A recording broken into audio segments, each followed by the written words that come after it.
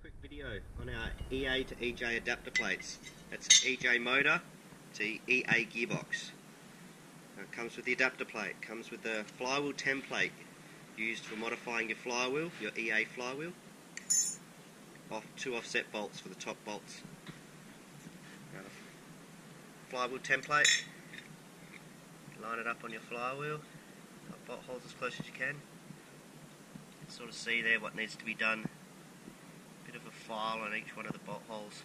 That template will help you do that with a die grinder. Hand file can even be done if you really like arm work. Once that's done, get the flywheel on. That's what I did this morning. EA flywheel on this EJ22 engine. Now you can get all your bolts in. You put the uh, template back in as a big washer. Works out really well. Um, everything's a really snug fit after you do all that adapter plate. The offset bolts here, one's longer than the other one. That one's a bit longer here than the other one. The longer one's the starter motor side. You get the bolt, get the stubby end. The stubby end threads straight into your engine. It's the same thread. Already fitted these this morning. The one on the starter motor side, the stumpy end's in first. This is the longer bolt. The shorter bolt, the stumpy end's in the motor. Now you do these up all the way maybe back them out half a turn or a turn. Same on this side, all the way, back them out half a turn or a turn. The way the adapt plate goes on is pretty self-explanatory. It's got the carve out for the starter motor there, carve out for the starter motor on the engine.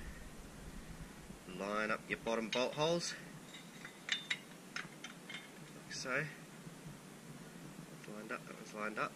Now all you have to do is tweak your top bolts. It's not quite lined up. Just turn it back a bit, lines it up. This one's not far out. back a bit, line it up. Just it back. Now these are all test fitted before they go out, so they will fit. And when they get right in, you'll find the little dowel on the engine that's a really tight, snug press fit. So you may have to grab the mallet like I'm about to, tap,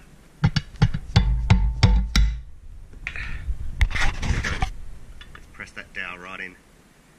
It's nice and flush all the way around. Some nice, nice fit. You can barely notice it once it's all bolted in. All under here fits perfectly. Now your EA gearbox will fit directly onto these. These line up. Top holes now line up perfectly. Um, they're all actually test fitted with a EJ22 block and an EA gearbox paired up with the bolts so there's no mix match of gear here. It all lines up and works perfectly. So hopefully that helps some people out.